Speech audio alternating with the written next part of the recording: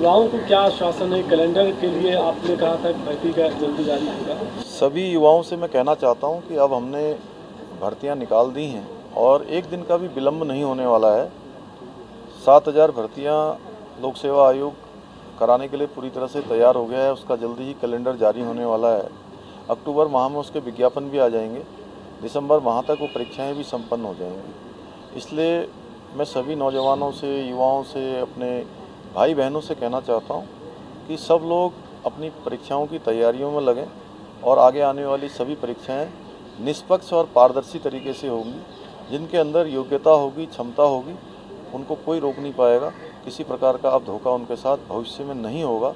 इस प्रकार की नज़ीर हमने बना दी है कि आगे के लिए, हमेशा के लिए, जो धोखाधड़ी करने वाले थे, सांगठनिक अपराध करने वाले थे, उनका रास्ता और ये काम हमेशा के लिए अब बंद हो गया। थैंक यू हमसे जुड़े रहने के लिए हमारे YouTube चैनल को सब्सक्राइब करें और नई वीडियो की नोटिफिकेशन के लिए बेल आइकॉन को दबाएँ।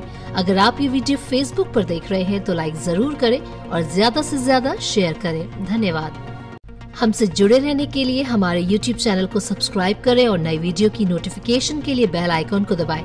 अगर आप ये वीडियो Facebook पर देख रहे हैं तो लाइक ज़रूर करें और ज़्यादा से ज़्यादा शेयर करें धन्यवाद